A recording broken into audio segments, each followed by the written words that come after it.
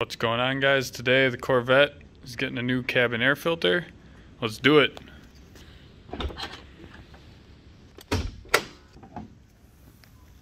The cabin air filter is located right in there. As you see, I got some stuff in the way. Maybe you don't. This might be easy for you, it might be hard. This is gonna be a lot easier with two hands. Hmm, it's empty. Anyway, back to the air filter. There's three tabs like this. This one doesn't want to stay up.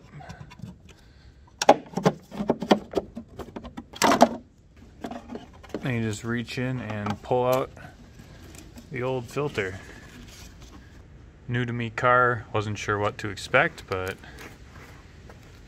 I mean, it's not great, but it ain't bad. Gonna take our new one, we're gonna put it right back in where that one came out. Easy peasy.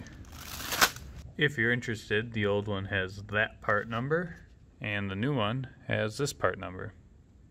Because I'm doing this one-handed, I'm gonna struggle with it a little bit more than you will.